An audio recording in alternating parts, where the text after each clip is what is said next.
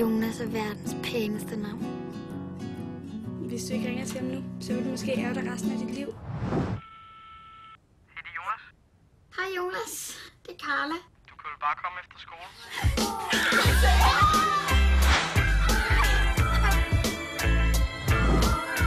Du sminke på? Og Hej. hej. Er det så sjovt at bo på børnehjem? Nogle gange. Det er alligevel ret vildt, så meget ligner hinanden, der er din rigtige mor. Hvad så? Er det din nye kæreste? Gud, der er.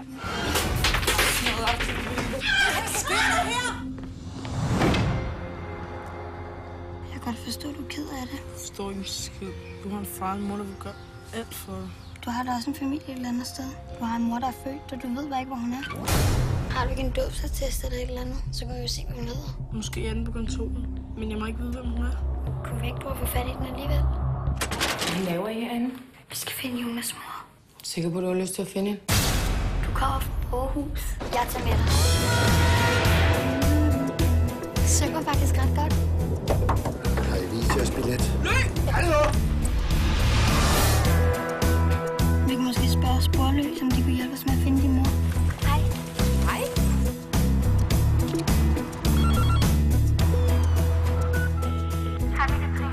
Gæt lige, hvor jeg er ærlig, Karl, jeg har jo ikke en chance. Jeg er i Jylland med Jonas.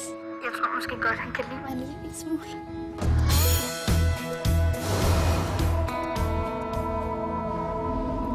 Hvad er I ikke lidt for små til at være så sent ude? Vi kan ikke komme hjem.